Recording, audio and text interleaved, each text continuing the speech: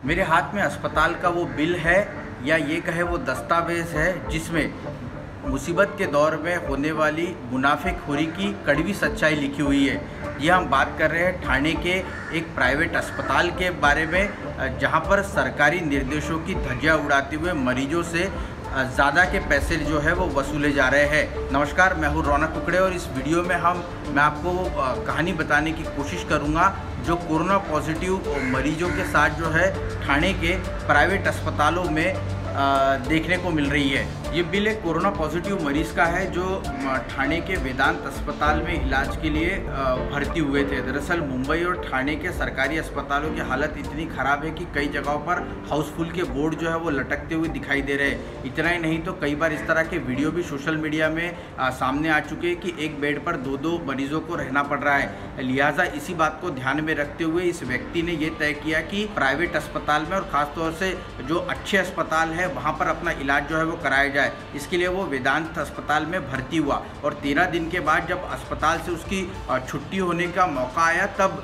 उसे जो अस्पताल ने बिल थमाया, उसको देखकर उसके होश उड़ गए। क्योंकि बिल जो था वो दो लाख रुपए के ऊपर था।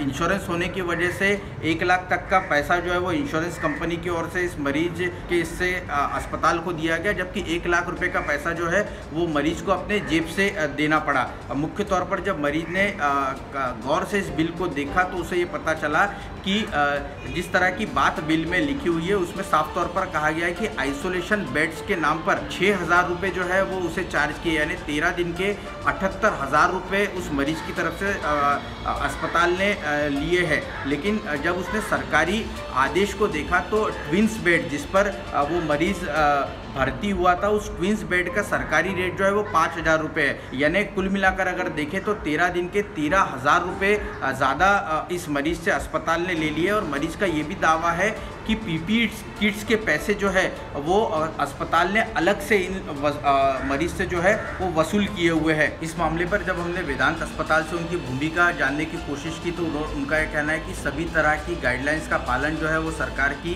अस्पताल जो है वो कर रही है। मुख्य तौर पर उनका ये कहना है कि तीन तरह के मरीज़ जो है हमारे यहाँ पर आ रहे हैं, जो महात्मा ज्योतिराव फुले योजना के तहत यहाँ पर भर्ती होते हैं। उनका पेमेंट उस योजना के तहत किया जाता है।